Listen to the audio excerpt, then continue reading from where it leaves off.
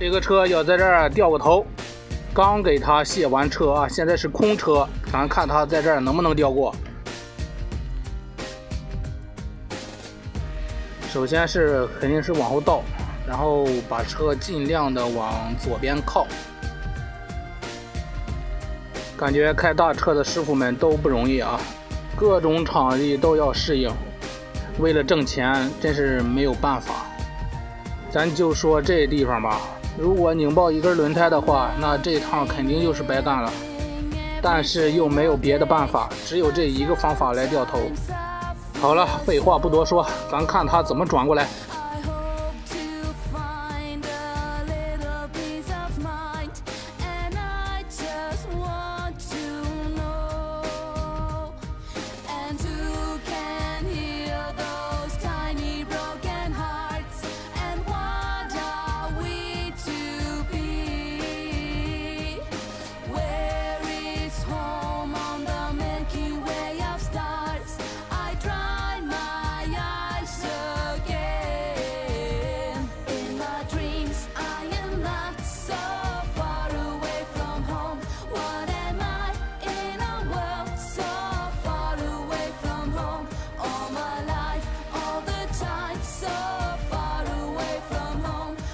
后边卡住了，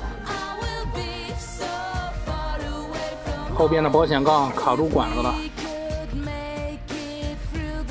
我估计怎么也是怕把人家管子给压坏了。师傅们还是挺负责任的。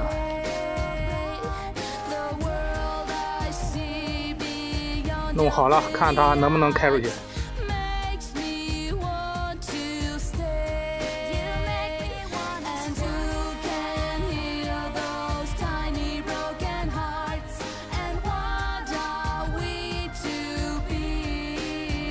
还行啊，顺利的开出来了，师傅们都辛苦了，不容易，祝你一路顺风，拜拜。